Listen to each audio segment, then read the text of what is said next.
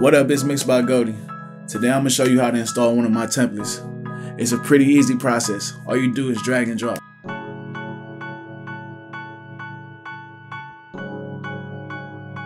Make, make, The template makes it real easy and fast for you to get going recording. Have a quality mix and master like a professional studio. Very easy. All the effects like compression, EQ, de-essing, delay, and reverb is already placed on the template.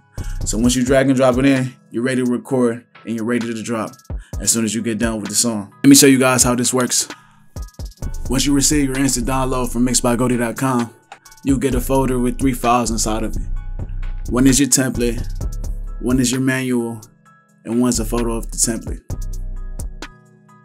So with your manual is the website link, the link to the template, and then the three links to your tutorials. Scrolling down tells you the basic uses of the template and how you can edit and finesse this template to be your own.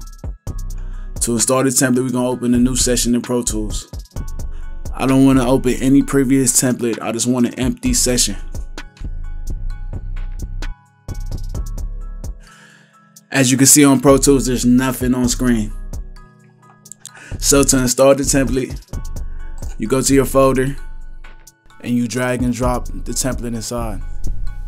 Real easy. You turn on all these sources.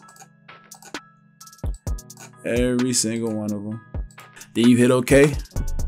Then the template is going to load up for you.